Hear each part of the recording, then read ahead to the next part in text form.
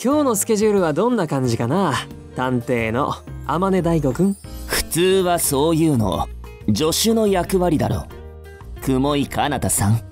もちろん僕はチーム 127E の立派な探偵助手だよ。先週のアイドルが耳を送りつけられた事件の時だって。あああの事件ってどうなったっけ？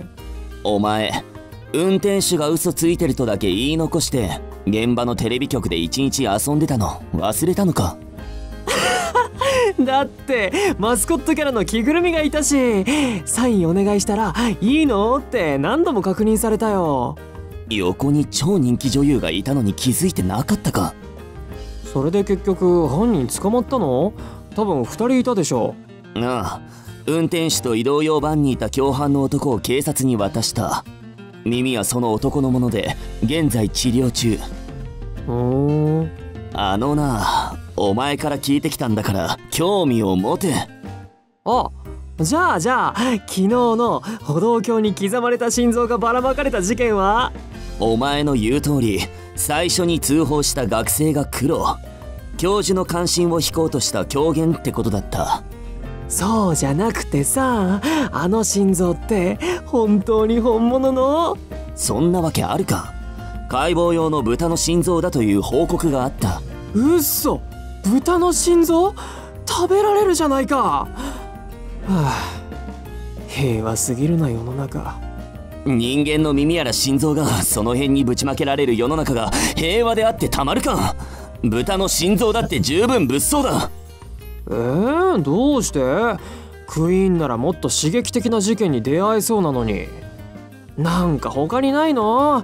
ねえねえねえねおいこら服を引っ張るな。えもっとこう先が読めなくてさルールなんてお構いなしの刺激的な事件が起きないかな。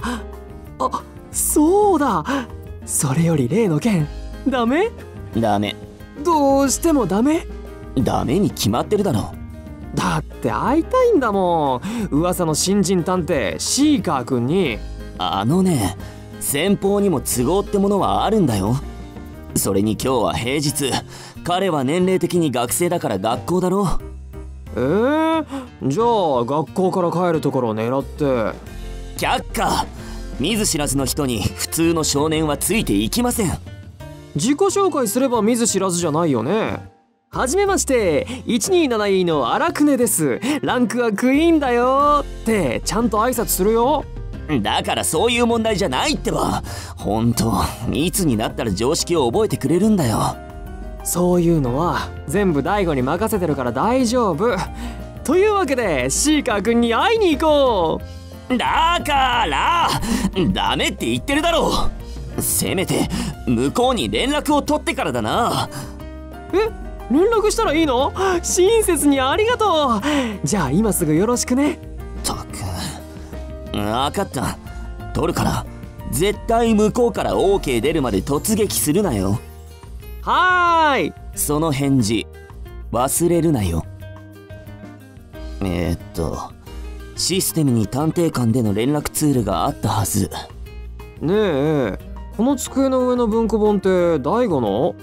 大悟って本当に本読むの好きだよね。えあちょ開くな御堂マリア作白百合の少女学園？女の子ばっかりの小説だね。いいだろ別に俺が何読んでも。うんいいと思うよ。僕も読んでいい？いいけど。うんうんうん。なるほど吹奏楽部の女の子を気にかけてる生徒会長の彼女が犯人だ。それミステリー小説じゃないから事件は起きないぞ。いや何も起きないわけじゃないけど。じゃあどうして友達に嘘ついてまで昼休みにおみ堂で二人きりになるの？それはその二人きりになりたいという。れ恋愛感情的な好きだと周りに隠れて二人で会うの？意味不明な行動だな。他にどんな意図があって密会してたと思ってたんだ？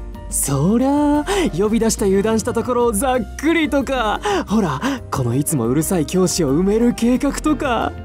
平和な学園を事件現場にするな。逆に聞くけどお前普段どんな本読んでるんだ？うーんそんなに読まないけど。あ好きな作家ならいるよ。柚ヶ崎薫。え？柚ヶ崎薫って探偵だよね。確かエドがあってチームの。彼は探偵だけど小説も書いてるよ。えー、っとねなんというかシュールな児童文学。読むなら貸すよ。いやシュールなのは彼方だけで十分だよ。あと割と話がむごい。児童文学なのにむごい。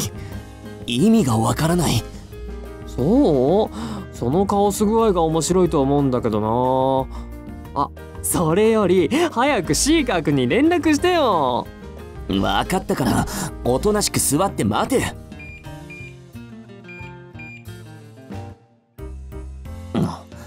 指名依頼が入った。連絡はこれが終わってからな。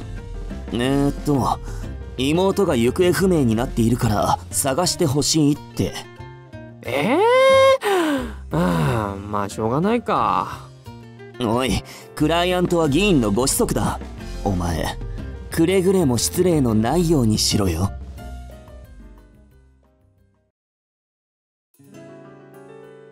いえ探偵はそれが仕事ですので。私は探偵 127E のプシケイです。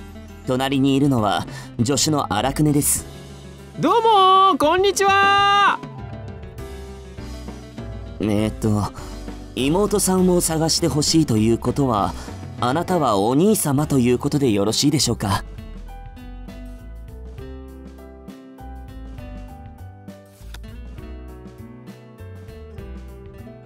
妹さんと一緒にお住まいで？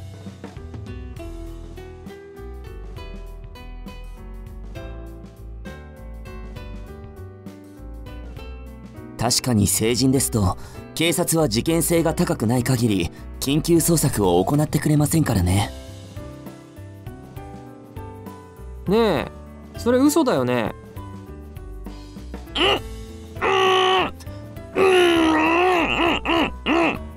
女子くん依頼人の方に失礼なことを言わないように。ん？だってその人嘘ついてるしああ失礼しました。確認いたしますが行方不明になったのは妹さんですね。あなたに行き先も告げずいきなり住んでいる場所からいなくなってしまった。間違いはありませんか？ちなみにあなたは妹さんが見つかったらどうしますか？どうだ？荒くね？うん。妹ってのは嘘。いきなりいなくなったのは本当。話を聞きたいっていうのも嘘っぽいな。うん。なんかもっとこう生々しい感じ？申し訳ありません。嘘の依頼をされる方からの依頼は受けられません。それは？人が嘘をつくとね僕にはそれが見えるんだじゃあ大悟30秒くらいで何か面白いことをしよう。え次回予告をするんじゃないのか？誰も次回予告なんてしてないよ !30 秒でわかる次回予告って書いてあるけど。大丈夫。誰も30秒なんて守ってないから。今までクレームとか来てないのかこのタイトルピクピク動いてて、可愛いよねこのタイトル。ええ、どうしよう次回予告の準備しかしてないぞこの文字触ってもいいかないやいやダメだ触るなここは次回予告だ次回予告をしようかなたあ、本当？それじゃあ次回予告、どうぞ突如、謎の光に包まれる応接室。ロボットに変形し始めた議員の息子の真意とは、かくして命を奪い合う IT ゲームの幕が切って落とされた。人類を救うキーワードは真夏の思い出。次回、世界探偵局第4話後編、愛は試されて、どうぞお楽しみに